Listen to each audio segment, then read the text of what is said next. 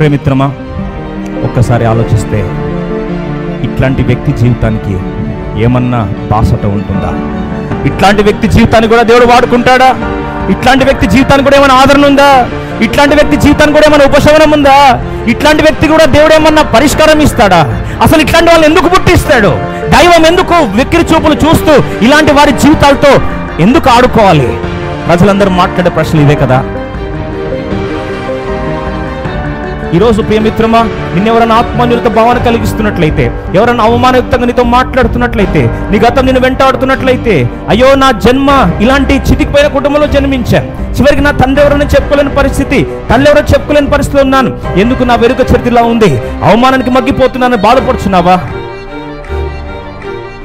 ఈరోజు నీ తమ్ముళ్ళని విలువ ఇవ్వకపోవచ్చు. నీ అక్క నీకు విలువ ఇవ్వకపోవచ్చు నీ చెల్లి నీకు విలువ ఇవ్వకపోవచ్చు నీ తల్లి నీ తండ్రి నీ కుటుంబం నీకు విలువ ఇవ్వకపోవచ్చు. వాస్తవం చెప్పినట్లయితే సొంత కుటుంబం ఏసుప్రకు విలువ లేదు ప్రియమిత్రమ ఈరోజు ఎగతాలు చేసిన చాలా మంది నీ ఆత్మీయ పురోగమనాన్ని నీ యొక్క హెచ్చింపును అడ్డుపడుతున్నారా? మళ్ళీ ఒకసారి దేవుని వాక్యం జ్ఞాపకం చేస్తున్నాడు ప్రజల అభిప్రాయం కూడా దయచేసి బ్రతకడం మానే.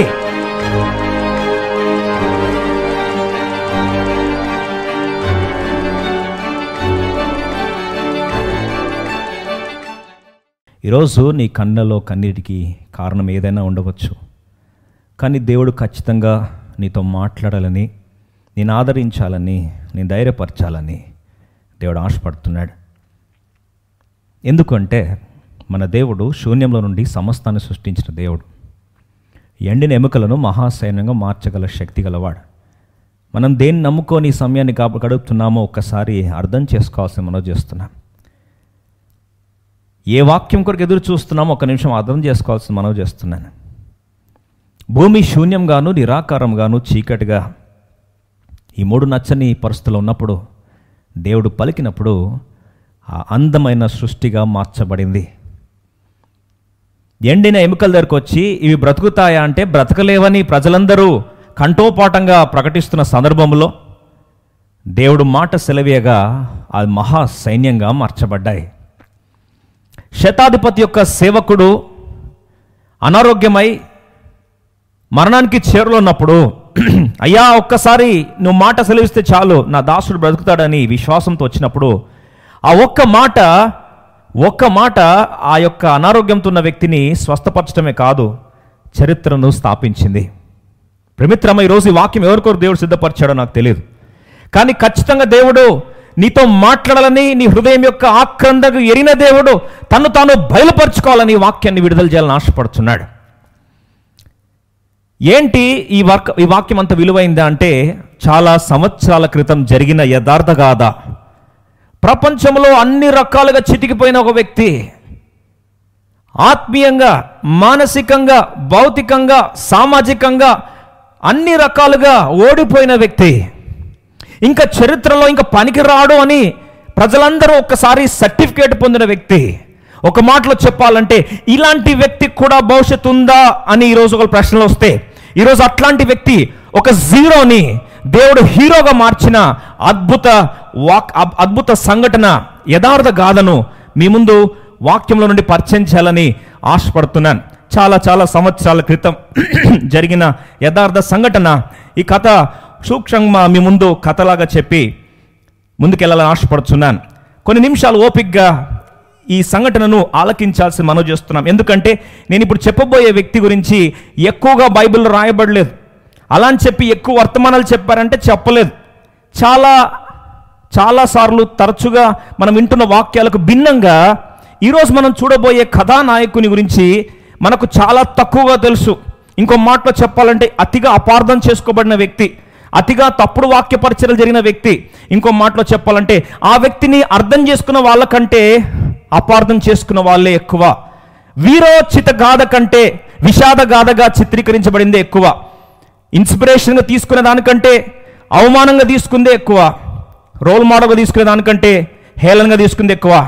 కానీ బైబిల్ చరిత్ర మాత్రం ఆ వ్యక్తి గురించి అద్భుతమైన సువర్ణక్షరాలు రాసింది. ఈరోజు ప్రేమిత్రమను ఎవరైనా సరే కొన్ని నిమిషాలు జరిగిన సంఘటన జాగ్రత్తగా ఆలోచి ఆలోకించాల్సి మనం చేస్తున్నాం.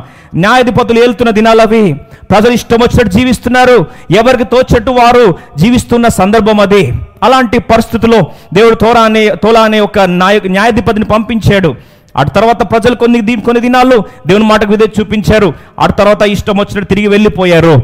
ఆ తర్వాత యాయిర్ అనే ఒక వ్యక్తిని పంపించాడు. ఆ తర్వాత వాళ్ళు ఇష్టం వచ్చి వెళ్ళిపోయారు. తర్వాత తిరిగి బానిసతలకు వెళ్ళిపోయి ఇష్టానుసారంగా జీవిస్తూ ఆ ప్రాంతంలో గిలాద్ అనే ప్రాంతానికి చెందిన ఒక వ్యక్తి తన పేరు కూడా గిలాదు. ఈ గిలాద్ అనే వ్యక్తి ఇష్టానుసారంగా తన సొంత చిత్తానుసారంగా జీవించడం ఆరంభించాడు. ఎందుకంటే న్యాయాధిపతి వెళ్తున్న దినాల్లో ఎవరు ఎట్లా పడితే అట్లా జీవించడం ఆరంభించారు. ఆ వ్యక్తి ఒకరోజు ఒక వేష్య దగ్గరికి వెళ్ళాడు. ఆ వేష్య దగ్గరికి వెళ్ళిన తర్వాత తిరిగి ఇంటికి వచ్చేసాడు తర్వాత తెలిసిన వార్త ఏంటంటే ఆ వేష్య గర్భవతి అయిందని వార్త వచ్చింది. ఆలోచించండి ఈ పరిస్థితిలో ఏం చేయాలో తోచని సందర్భాల్లో కొన్ని మాసాలు గడిచాయి. తీరా జరిగిన అనూహ్య పరిణామాల్లో ఒక కుమారుడు జన్మించాడు. ఈ కుమారునికి ఈ కుమారుడు పుట్టాడని తెలిసిన వెంటనే సమాజం అంతా ఎగతాళి చేయడం ఆరంభించింది. చుట్టుపక్కల ఉన్న వారందరూ అవమానించడం ఆరంభించారు. ఈ పిల్లోడు పుట్టిన దాన్ని రహస్యంగా కప్పిపుచ్చేద్దామని ప్రయత్నించారు. ఈ పిల్లోని జన్మను ఈ పిల్లవాడి జన్మను అగమ్య గోచరంగా గుప్తంగా దాచిపెట్టి సమాధి చేసేయాలి అని ప్రయత్నించారు. కుదరలేదు. చివరికి ఆ కుమారుడు జన్మించినప్పుడు ఆ పిల్లవాడికి దేవుడే బంధకం నుండి విడిపిస్తాడు అనే అర్థం వస్తూ పేరు పెట్టారు. దేవుడే బంధకముల నుండి విడిపిస్తాడు. గాడ్ విల్ సెట్ ఫ్రీ అని పెట్టారు. కానీ పిల్లవాడికి అన్ని రకాల బంధకాలకు చితికిపోయాడని తెలుసు. ఈ పిల్లవాడు పెరుగుతున్నాడు విషాదం ఏంటంటే ఈ గిలాద్ అనే వ్యక్తి తన భార్య తన పిల్లలు ఇంకా అప్పటికి పిల్లలు పుట్టలేదు. ఈ వేషకు మాత్రము కుమారుడు పుట్టాడు. తెచ్చి ఈ వేషను ఒక గుడిసెలో పెట్టారనుకుంటా. దగ్గరలోని గుడిసెను పెట్టారు. ప్రజలందరూ అవమానిస్తున్నారు. ఎగతాలు చేస్తున్నారు. తప్పు చేసింది మాత్రం ఈ గిలాదు. కానీ శిక్ష అనుభవిస్తుంది మాత్రం పుట్టిన బిడ్డ. కథ ఇలా సాగుతున్న దినాల్లో ఇప్పుడు ఈ గిలాదుకి వాస్తవికంగా చట్టబద్ధంగా వివాహం చేసుకున్న భార్యకి ఇద్దరు కొడుకులు వెంట వెంటనే పుట్టారు. ఇప్పుడు ఒకసారి ఆలోచించండి. కథ ఇలా సాగుతున్న దినాలు అవి అకస్మాత్తుగా ఈ గిలాదు కన్ను మూశాడు. కొన్ని విషాద గాథలు వింటుంటే మనసు తరుక్కుపోతుంది. ఈ పిల్లవాడి పరిస్థితి ఒకసారి ఆలోచించండి. అమ్మ చివరికి ఆ వేశ్య తనను పోషిస్తున్న ఆ యొక్క కట్టుకోలేకపోయిన భర్త కన్ను మూశాడు. అంతవరకు ఆ ప్రాంతం పెరుగుతున్న వ్యక్తి తీరా గృహానికి వచ్చి తన పోషణ నిమిత్తం అడగబోయేసరికి వాస్తవంగా తన కట్టుకున్న భార్యకు పుట్టిన ఇద్దరు బిడ్డలు ఇష్టం వచ్చినట్టు ఈ వ్యక్తిని మాట్లాడడం ఆరంభించారు. మొక్క ముందే అవమానాల వర్షం. ఇవన్నీ ఒక అయితే ఆ సమాజం అంతా చీత్కారపు మాటలు.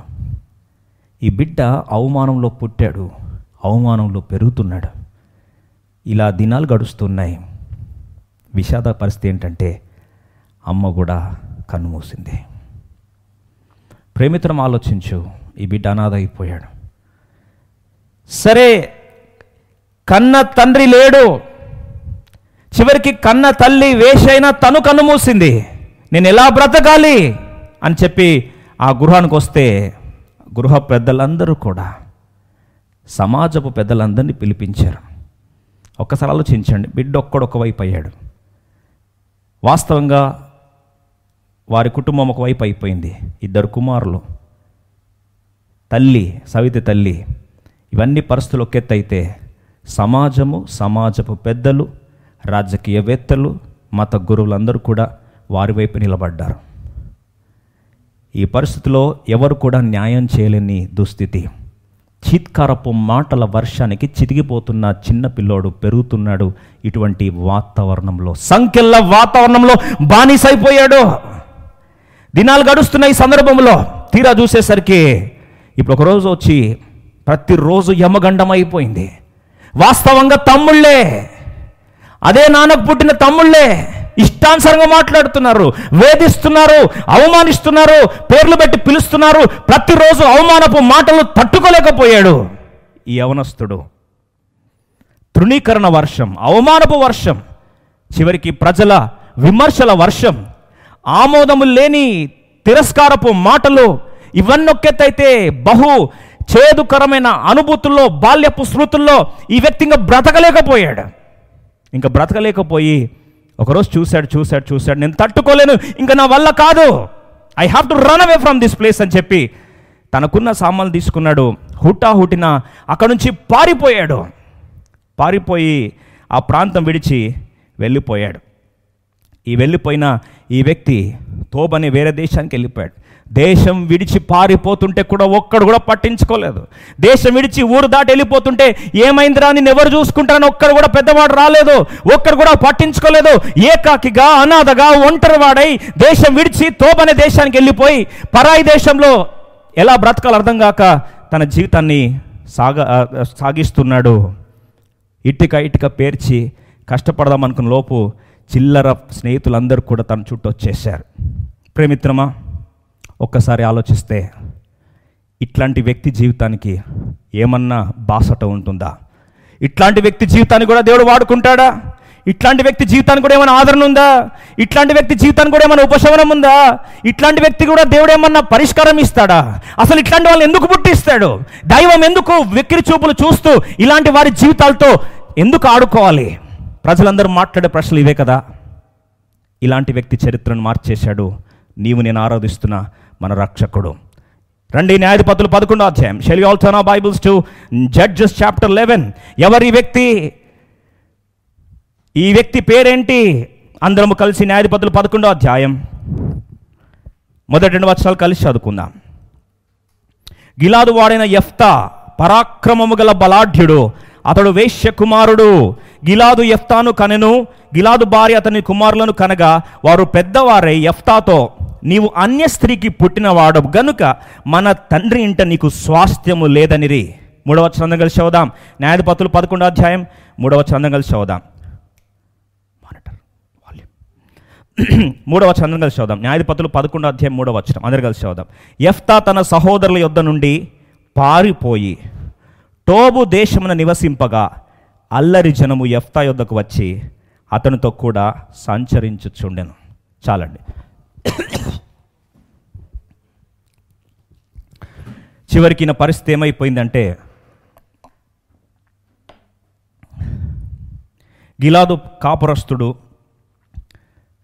సొంత దేశం వెలివేసింది సొంత కుటుంబం వెలివేసింది కన్న తల్లిదండ్రులకు ప్రేమ నోచుకోలేని వాడు చివరికి తన సహోదరుల ప్రేమ నోచుకోలేని వాడు విధి వికృత వం వంచనకు బలైపోయిన బలి పశువు చివరికి గిలాదు దేశం విడిచి తోబో దేశానికి వెళ్ళి తన బ్రతుకు బండిని నడిపించుకునే చిరు ప్రయత్నాలు చేస్తున్న సందర్భంలో తనకు చివరికి మిగిలింది ఎవరంటే అల్లరి జనము. ప్రేమిత్రమా ప్రియ సోదరి సోదరుడా ఈ ఎఫ్తా అనే ఈ వ్యక్తి నిజంగా అసలు పేరు ఎందుకు పెట్టారు ఈయనకి ఎఫ్తా అని దేవుడే సంఖ్యలను తెంచువాడు. దేవుడే స్వాతంత్రం ఇచ్చేవాడు. దేవుడే విడుదలనిచ్చేవాడు అని పేరు పెట్టారు. కానీ ఈ వ్యక్తి జీవితంలో నాలుగంతల సంఖ్యలకు చితికిపోయాడు. అలాంటి చితికిపోయిన ఈ వ్యక్తి జీవితాన్ని దేవుడు తనను సమోన్నతంగా మార్చేశాడు. ఒక మాటలో చెప్పాలంటే ఇస్రాయేల్ దేశానికి న్యాయాధిపతిగా దేవుడు సమోన్నతంగా తనను హెచ్చించాడు. చరిత్రలో సువర్ణ అక్షరాలతో తన పేరు రాశాడు. ఒక మాటలో చెప్పాలంటే హెబ్రిల్ రాష్ట్రపత్రిక పదకొండవ అధ్యాయం ముప్పై రెండవ వచనంలోకి వచ్చి ఒక్కసారి తన జీవితాన్ని జ్ఞాపకం చేసుకుందాం. విశ్వాస వీరుల పట్టికలో కాలచక్రం ఒక్కసారి గిరున తిరిగింది. విశ్వాస వీరుల పట్టికను పరిశుద్ధాత్మ దేవుడు రాస్తున్నాడు సువర్ణ అక్షరాలతో ప్రపంచానికి నిలువెత్త నిదర్శనంగా విశ్వాస వీరుల జాబితాలోకి చేర్చడానికి కొరకు పాత నిబంధన వీరులందరినీ ఒక్కసారి ఒక్కసారి సర్వే జరిగింది. జరిగితే అనూహ్య పరిణామాల్లో ఈ యొక్క అనామకుడు అనామకుడు విశ్వాస వీరుడుగా తన పేరు రాయబడింది. ముప్పై రెండవ చంద్ర కలిసి చదువుదాం. ఇక నువ్వు ఏమి చెప్పుదును? గిద్యోను బారాకు సంసోను. నెక్స్ట్ పదం. ఎఫ్తా. ఎఫ్తా దావీదును సమయలను వారిని గూర్చి ప్రవక్తలను గూర్చి వివరించుట సమయము చాలదు. టైం లేదని చెప్పకముందు ఎఫ్తా పేరు రాసి సువర్ణాక్షరాలతో పరిశుద్ధాన్ని ముద్రించి పెట్టేశాడు. ప్రేమిత్రమ మన అవమానం గుండా వెళ్ళినప్పుడు మొదటిగా బాల్యంలో జరిగే అవమానం అది మానసికంగా ఎంతగా మనల్ని పాడు చేస్తుందంటే మన ఆత్మన్యూనత భావాన్ని దెబ్బతీస్తుంది. దానికి అర్థమయ్యే భాషలో చెప్పాలంటే సెల్ఫ్ ఎస్టీమ్ని దెబ్బతీస్తుంది. దీని ద్వారా ఏమవుతుందండి? ఇన్ఫీరియారిటీ కాంప్లెక్స్ వస్తుంది. ప్రజలు ఎవరు వచ్చి చూసినా సరే ఆ కోణంలోనే ఆలోచిస్తాం. ప్రజలు ఎవరు వచ్చి ఏదో అనబోయినా కూడా వెంటనే మనకు ఆ కోణంలోనే స్పందిస్తాం. వెంటనే మనకు ఆ అవమానపు మాటలు గాయమవుతుంది. తెలియకుండానే అది ఒకలాంటి విషాద గుర్తులుగా మిగులుస్తుంది. ప్రేమిత్రమా ఇలాంటి పరిస్థితి ఆ పిల్లవాడి జీవితం. ఒక్కసారి ఆలోచిస్తే ఇలాంటి పిల్లవాడి బాల్యానికి ఏమన్నా మెరుగుదిద్దే ప్రయత్నం ఎవరైనా చేశారా? ఎవరు చేయలే. కనీసం ఓదార్చడానికి కుటుంబస్తులు ఎవరైనా వచ్చి నిలబడ్డారా? ఎవరు నిలబడలే. ఒక మాటలో చెప్పాలంటే అందరూ కూడా తను అవమానిస్తున్నారు. అందరూ కూడా తను చెప్పడానికి తన అవమానం అవమానపు సంఖ్యల నుంచి బయటకు రావడానికి తనకి ఏమీ మిగల్లేదు. కానీ ప్రభుకు స్తోత్రం.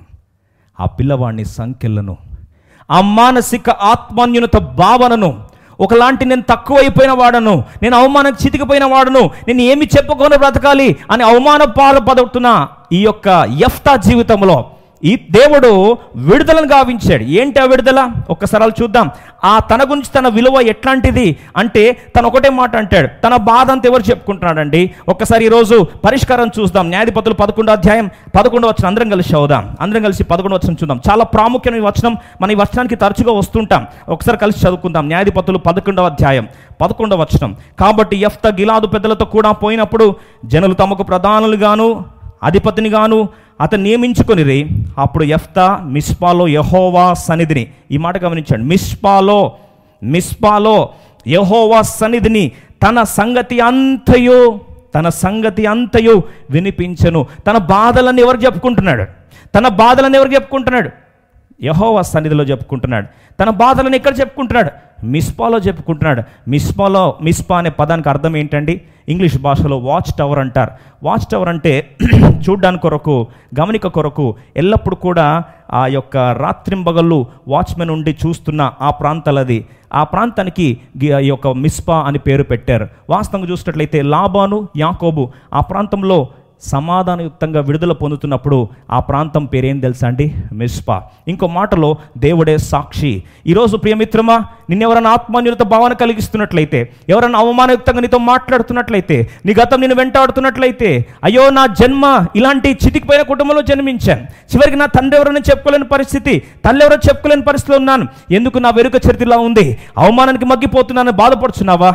అలా బాధపడుతున్న యఫ్త తన బాధ అంతా వచ్చి మిస్పాలో చెప్పుకున్నాడు. మిస్పాలో దేవుని సరలో చెప్పుకుంటున్నాడు. యహో సరలో చెప్పుకుంటున్నాడు. బహుశా ఏమని చెప్పిండొచ్చు? నిజంగా అద్భుతమైన ఆ ఒక్క లైన్లో ఎంత లోతుగా ఆలోచిస్తే అన్ని అన్ని ఆత్మీయ సత్యాలు మనకు బయలుపరుచు ఉంటాయి. ఆయన వచ్చి అంటున్నాడు he uttered all his words before the Lord in Mizpah. Mizpah అనే ప్రాంతంలో తన బాధ అంతటిని చెప్పుకున్నాడట. తన మాటలన్నీ చెప్పుకున్నాడంట దేవునికి. ఏమేమి చెప్పుకుండొచ్చండి? బహుశా నేను ఊహిస్తే ఒక్కసారి రెండు నిమిషాలు ఊహిస్తాం తప్పేముంది? దేవుని దగ్గరికి వెళ్ళి తన బాధ అంతా చెప్పుకున్నాడు. మాటలను చెప్పుకున్నా అంటే ఏమని చెప్పిండొచ్చు? అయ్యా నేను ఈ విధంగా పుట్టడానికి కారణం నా తప్పు కాదు కదా. ఇలా మా తల్లిని అనుమతించింది కూడా తప్పు నాది కాదు కదా. మా నాన్నను కూడా గిలాదుని ఇలా తీసుకుని తప్పు నాది కాదు కదా. నా జీతం ఇలా చితికివ్వడం తప్పు నాది కాదు కదా. కానీ అవమానం మాత్రం సమాజం నన్నే అవమానిస్తుంది. సమాజం నన్నే చులకనగా మాట్లాడుతుంది. సమాజం నా గురించే చీప్గా మాట్లాడుతుంది. ఇలాంటి పరిస్థితిలో నా బాధను అర్థం చేసుకునే నువ్వే కదా. నాకంటూ విలువ లేకుండా పోయింది. అవమానమే నాకు మిగిలింది. కానీ విలువ లేని నా జీవితాన్ని కూడా వెలువిచ్చేది నువ్వే కదా ప్రవ్వా. నీ సన్నిధిలో నా బాధ చెప్పుకుంటున్నా. నీ సన్నిధి నాకు కావాలి. ఒక్కసారి ఆలోచించండి. ఎప్పుడైతే దేవుని సన్నిధి ఎప్పుడైతే దేవుని యొక్క ఆత్మ ఎప్పుడైతే దేవుని యొక్క సన్నిధి యొక్క స్పర్శ ఈ యఫ్తాను నింపాడో తన చరిత్ర మార్చబడమే కాదు. తన యొక్క విలువ మారిపోయింది. అవమానం నుండి రెట్టింపు ఘనతకు పాత్రుడైపోయాడు. చూడండి తన యొక్క మానసిక స్థితి ఎలా మారిపోయిందో. ఒక్కసారి చూస్తే ఇప్పుడు అమ్నోను రాజు దగ్గరికి వెళ్ళాడు. ఆయనతో న్యాయాధిపతిగా యుద్ధశూరుడుగా ఇప్పుడు మాట్లాడడం ఆరంభించాడు. మిలిటరీ డిస్కషన్ స్టార్ట్ చేశాడు. మాట్లాడుతున్నప్పుడు చూడండి అమ్నోను ఇష్టం వచ్చినట్టు మాట్లాడుతున్నాడు. మాకు వారసత్వం మాదే హక్కు. ఈ భూమి మాది మేము ఇష్టం వచ్చినట్టు చేస్తాము అని మాట్లాడబోతున్నప్పుడు హేతుబద్ధమైన వాదనలో చరిత్ర మొత్తం ఎక్స్ప్లెయిన్ చేశాడు. మూడు వందల సంవత్సరాలు ఈ ప్రాంతంలో ఇస్రాయల్ ఉన్నారు. ఈ ప్రాంతం దాటి వెళ్దామన్నప్పుడు ఇది మీది కాదు అమ్మోరీల దేశం ఇది. అమ్మోరీల దేశం అయినప్పటికీ పర్మిషన్ అడిగితే ఇవ్వలేదు. ఆ తర్వాత మా దేవుడు చూడండి గమనించండి ఈ న్యాయాధిపతులు పదకొండు అధ్యాయం ఇరవై నాలుగు ఇరవై ఐదు వచనాలు అందరం కలిసి చదువుకుందాం. ఇరవై మూడు ఇరవై నాలుగు వచనాలు కలిసి చదువుదాం. కాబట్టి ఇస్రాయల్ దేవుడిని యహోవా అమోరీలను తన జనులు ఎదుట ఇస్రాయలు దేవుడైన యహోవా అమోరీలను తన జనులు ఎదుట నివ ని- నిలవకుండా తర్వాత నీవు దానిని స్వతంత్రించుకుందువా? చూడండి ఎట్లా అంటున్నాడు? తన కాన్ఫిడెన్స్ చూడండి తన ధైర్యం చూడండి ఆత్మన్యుత భావనలో చితికిపోవాల్సిన ఎఫ్త జీవితంలో దేవుని మీద నమ్మకం పెట్టుకొని my value is because of my creator my value is because of the Lord of hose సైన్యంలోకి అధిపతి అయిన నా దేవుడైన యహోవాను బట్టి నాకు ధైర్యం. నా దేవుడైన యహోవాను బట్టి నాకు విలువ. My value is because of my creator నా దేవుని బట్టి నాకు విలువ అని ఎప్పుడైతే తన గుర్తింపు వైఫల్యంలో కొట్టుమిట్లాడాల్సిన వ్యక్తి ఈరోజు చెప్తున్నాడు నా దేవుడైన యహోవా. ఈ దేశాన్ని అమోరియల చేతుల నుండి మాకిస్తే నువ్వెవరు మాట్లాడడానికి? చూస్తున్నారా? ఒకసారి చూడండి. ఈ సంఖ్యల నుంచి విడుదల పొందిన ఎఫ్త ఇరవై నాలుగు వచ్చిన అంటాడు మా దేవుడని హో మా ఎదుట నుండి ఎవరిని తోలివేయునో వారి స్వాస్థ్యమును మేము స్వాధీనపరచుకుందాము. మా దేవుడు ఏది శాసిస్తే మా దేవుడు ఏది శాసిస్తే అదే శాసనం. What is decided by my God is the final destiny you cannot undo it this is my God that I'm serving నా విలువ నాకు లేకపోవచ్చు. నేను అవమానం పాలైండొచ్చు. వేషకే పుట్టిండొచ్చు. బహుశా నా జన్మను బట్టి నన్ను చులకనగా మాట్లాడొచ్చు. నా వెనుక చరిత్రను బట్టి మీరు ఎగతాళి చేయొచ్చు. బహుశా నా యొక్క వెనుక చరిత్రను బట్టి నా కుటుంబ నేపథ్యాన్ని బట్టి నేను పెరిగిన ప్రాంతాన్ని బట్టి నేను చదువుకున్న చదువును బట్టి మీరు చులకనగా మాట్లాడొచ్చు. కానీ నాకు విలువ ఇచ్చింది ఇవేవి కాదు. సైన్యులకు అధిపత్యగు యహోవా దేవుడు ఆయన సన్నిధిలో మిస్పాలో శపథం చేసుకొని నా బాధ దేవుని చెప్పుకొని వస్తున్నాను. నా విలువ మార్చిన నా దేవుని బట్టి మాట్లాడుతున్నాను. అమ్మోరీల చేతిలో నుండి విడుదలను దయచేసి మాకు ఆస్తిగా ఇచ్చిన మా దేవుని ముందు నువ్వెంత? చూడండి తన కాన్ఫిడెన్స్ చూద్దాం. యో- పదకొండో అధ్యాయం. ఇరవై ఇరవై నాలుగు వచ్చిన కలిసి చదువుకుందాం. మళ్ళీ ఒక్కసారి. ఇరవై నాలుగు ఇరవై వచ్చిన కలిసి చదువుదాం. స్వాధీనపరచుకుంటకు కెమోషను నీ దేవత నీకు ఇచ్చిన దానిని నీవు అనుభవించుచున్నావు కదా? మా దేవుని హోం మా ఎదుట నుండి ఎవరిని తోలువేయనో వారి స్వాస్థమును మేము స్వాధీనపరచుకుందాము. ఇరవై వచ్చిన మోయాబు రాజైన సిప్పోరు కుమారుడుగు బాలాకు కంటే చూడండి ఆయన మాటలు ఒక్కసారి ఆలోచించండి. ఎంత అద్భుతమైన మాటలు. అందరం కలిసి చూద్దాం. న్యాయపతులు పదకొండు ఇరవై ఐదు. All of first together please eleven twenty five మోయాబు రాజైన సిప్పోరు కుమారుడుగు బాలాకు కంటే నీవు ఏమాత్రం కూడా కావు కదా? నువ్వేం వానకంటే ఎక్కువనా? మన భాషలో అర్థం చేసుకోవాలంటే మోయాబు రాజు కంటే నువ్వు పెద్ద గొప్పడవా? ఆఫ్టర్ ఆల్ మోయాబు రాజునే దేవుడు తుత్తులుగా ఓడించి మాకు ఇచ్చాడు. చూడండి ఆ మాట గమనిస్తాం.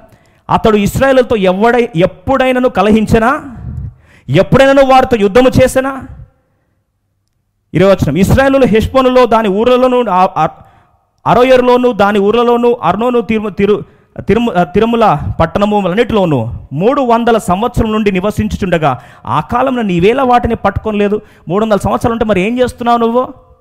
మా దేవుడు శాసించినప్పుడు నువ్వెంత? ఈరోజు నన్ను ఎవరు పొగడలేదు ఎవరు నన్ను ప్రశంసించలేదు ఏదో నేను దేవుని సేవ చేద్దామని ముందుకు వస్తే ఒక్కడు నన్ను ఎంకరేజ్ చేయరు. ఎంకరేజ్ చేయరు. కాలుబట్టి లాగే వాళ్ళు ఎక్కువ ఉంటారు.